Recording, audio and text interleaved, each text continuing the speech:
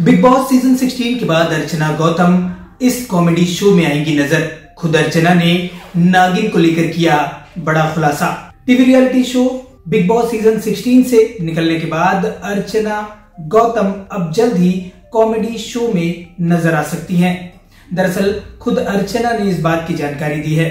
आपको बता दें कि अर्चना को लेकर यह भी कहा जा रहा था कि वो जल्द ही नागिन सेवन में अहम भूमिका निभाते नज़र आएँगी।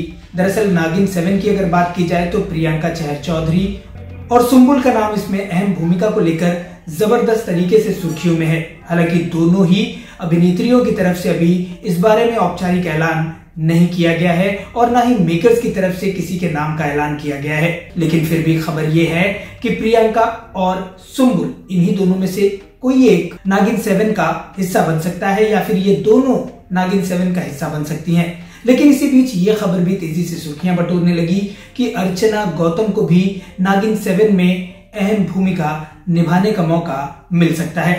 हालाँकि ये खबर कहाँ से सामने आई, इसके बारे में जानकारी नहीं है, लेकिन सोशल मीडिया पर अर्चना का नाम भी नागिन में अहम भूमिका के लिए लिया जा रहा है। तो ऐसे में अब खुद अर्चना गौतम इस बारे में खुलासा करते हुए नज़र आई हैं कि वो किसी भी टीवी सीरियल में नज़र नहीं आएँगी, जबकि कॉमेडी शो या रियलिटी शो का वो हिस्सा बन सकती हैं। तो ऐसे में अब ये अंदाज़ा लगाना कठिन नहीं है कि वो खतरों के अगले सीज़न में, यानी खतरों के खिलाड़ी सीज़न थर्टीन में हिस्सा ले सकती हैं, अगर मेकर्स उन्हें अप्रोच करते हैं तो। वहीं दूसरी तरफ़ जब उनसे ये पूछा गया कि कॉमेडी शो का मतलब क्या वो कपिल शर्मा शो में नज़र आएँगी तो उन्होंने कहा कि ऐसा ही कुछ है। यानी साफ़ तौर पर जवाब नहीं दिया, लेकिन इशारा कर दिया है कि वो कपिल शर्मा शो में भी नज़र आ सकती हैं।